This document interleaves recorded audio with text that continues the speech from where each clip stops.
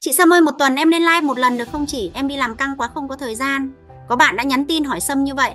Theo Sâm thì vẫn được nếu như bạn thường xuyên ra video nuôi dưỡng kênh hàng ngày, chạy quảng cáo cho kênh.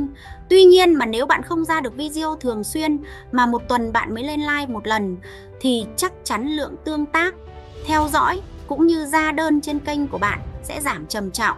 Bạn hiểu đơn giản như thế này, một người mà bạn lâu ngày không gặp, không hỏi thăm thỉnh thoảng mới nhắn tin đôi ba câu thì chắc chắn sẽ trở nên ngày càng xa cách. Mặt khác chúng ta không phải các idol, người nổi tiếng có tầm ảnh hưởng cực lớn để có thể tổ chức các cái super livestream một lần một tháng mà vẫn thu về lượng mua lớn.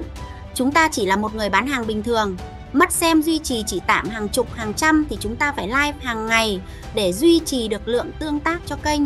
Còn nếu bạn quá bận rộn có thể thuê các tiktoker về làm video quảng bá sản phẩm của bạn, thuê nhân viên về livestream cho bạn đều được.